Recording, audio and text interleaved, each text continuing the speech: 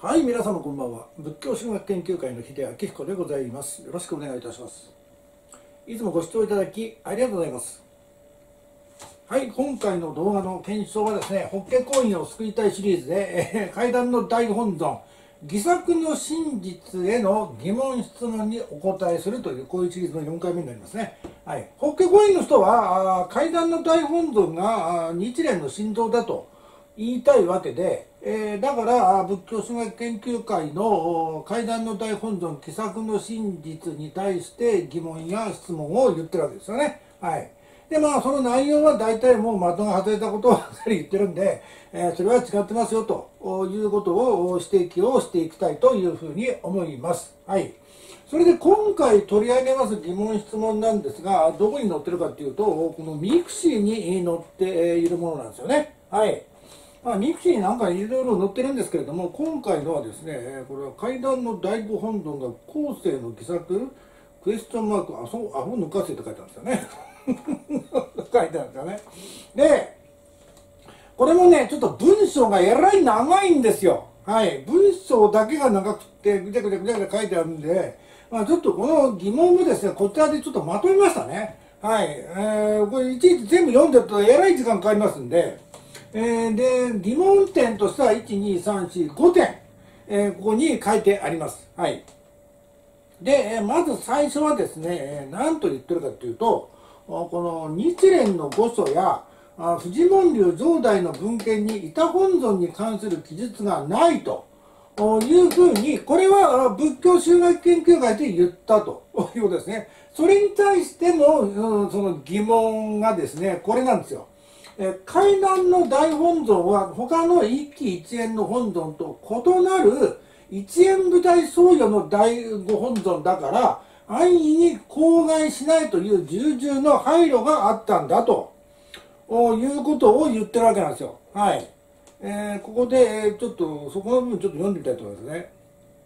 大聖人の御祖や富士門流上代の文献に板本尊に関する記述が確認できないとする考えがあるのだがしかしながらこれを理由に大御本尊を否定することはできない。なぜならあ大御本尊以外の大聖人のあまたの御本尊であってもそのほとんどが御祖や上代の文献に記されていないからだ。したがって文献に記述がないことをもって大御本尊を否定する根拠にはならないのだ。まして大御本尊は他の一期一円の本尊とは異なり一切主情を救済する一円舞台僧侶の御本尊であるこの出世の本願である重法を松代に残すためには安易に公言しないなど重々の配慮を持って言語されたであろうことは当然のことであるというふうに 書いてあるんですよね。はい。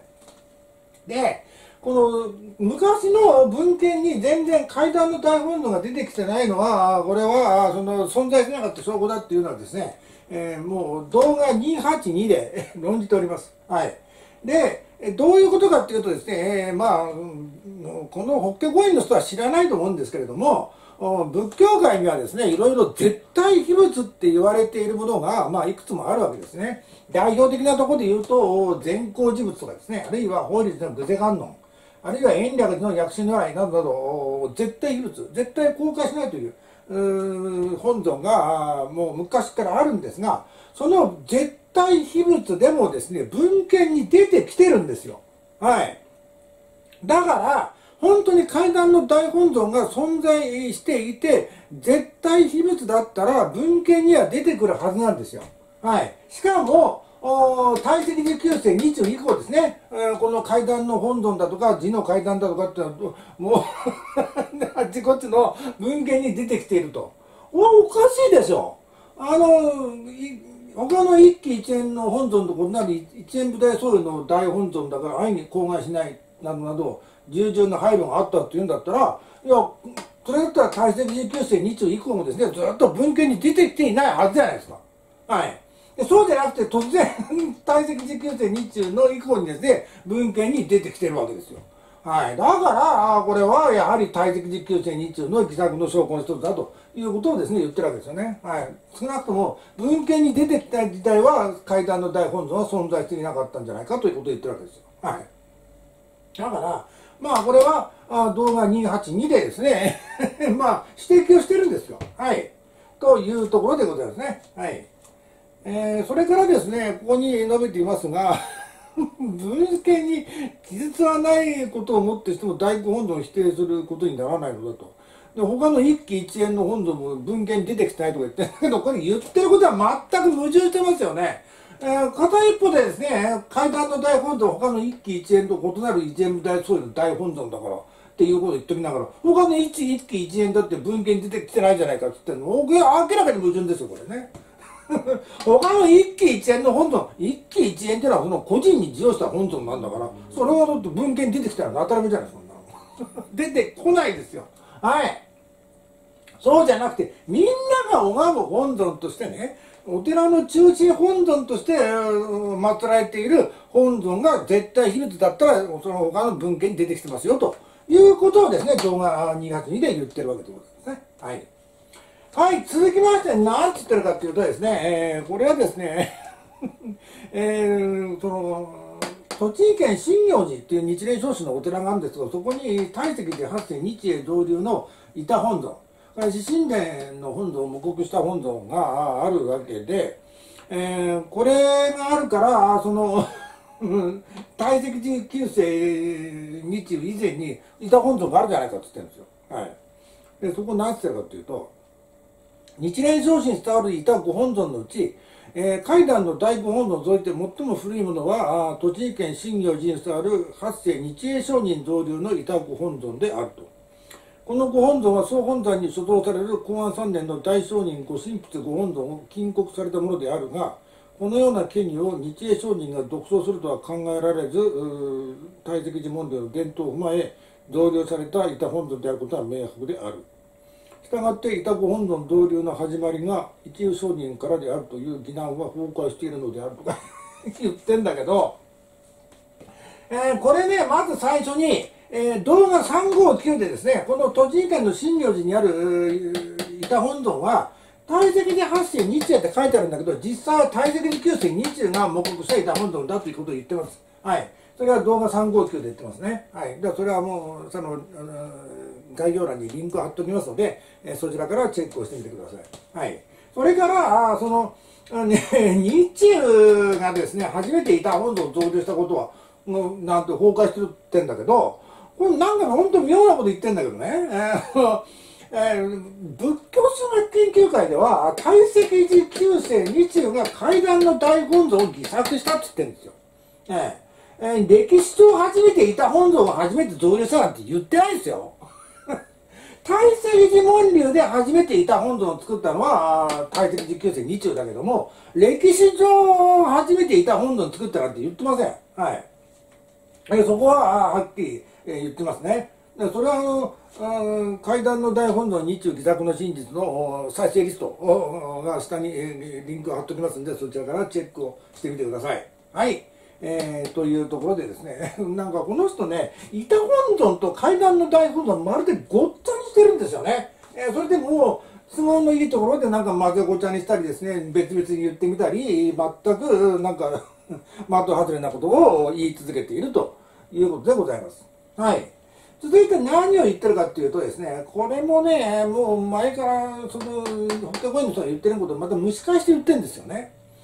え、身延山久遠寺に、この西暦1300年に、え、身延山久遠寺に二祖二号上人が造立した板本尊があるじゃないかと。あるいは1370年に、その、長山法華行寺に造立された板本尊があるじゃないかと。いうことを言っていて、これらが、その、階段の大本尊がもう昔から存在していた証明ですとか言ってるんですよ。なんでね、二光商人が造立した板本尊の存在が、階段の大本尊がその昔から存在していた証拠になるんですか全然関係ないんですよ。はい。で、えー、大石寺九世20以前にも、それは板本尊ってのはあったんですけれども、それはね、階段の大本尊全然関係ないんですよ。えー、それはね、南山久遠寺、それから中山法華行寺、保山妙本寺にあるんですよね。で、それは動画626で、二光商人板本尊、それから中山法華教授板本尊、宝山日本本尊、板本尊は階段の大本尊とは全く無関係であるということを論証しておりますので、えそちらも下に、概要欄にリンクを貼っておきますので、えそちらからチェックをしていただければと思いますね。はい。えー、で、もうこれ昔から言ってんだけども、これ関係ないよっつってんのに、もう同じことを繰り返しあ言っているだけということでございます。はい。そしてこれに関連してですね、こんなことも言ってるんですよね。日蓮召集、日蓮召問わず、板本尊ではないが、板本尊そっくりのものが、かつては多数存在していた。あしたがって1300年昭和2年12月に二項増流の板本尊なるものも日蓮幽霊成仏特道ないし崩壊平等利益のために腕余ってこれを増流すと書いてある文があることからしてもこれは板本尊といえども当時中国から伝来した仏教界に布教し始めていた本位杯や寺位杯をモデルにした遺体杯だと考えられるというものであると。でこれ位牌じゃないとか言ってるんだけども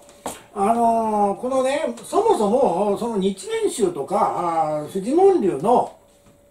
板曼荼羅本尊っていうのが、その曹洞宗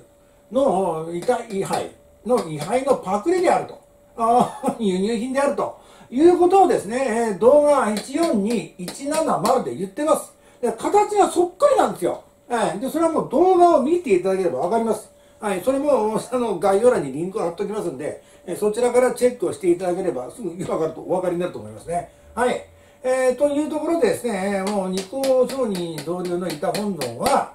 まあ、一体位牌によく似てるということを言ってるわけです。はい。だから、もう、位牌からその日蓮宗あるいはフジモン流の板曼荼羅が生まれたんじゃないかということをですね、言ってるわけで、だから結局この二項商人造流の板本尊は階段の大本尊とは全然関係ないものだということを仏教宗学研究会の動画では指摘をさせていただいていると、まあ、こういうことで、えございますね。はい。というところで、今回も、法華五院の方が 出してきた階段の大本尊、偽作の真実への疑問質問にお答えする動画とさせていただいた次第でございました。はい、ご覧になられました皆様はどのように思われましたでしょうか？またご意見をお寄せいただければ幸いでございます。はい、それではまた次回の動画でお会いしたいと思います。本日も最後までご覧いただきましてありがとうございました。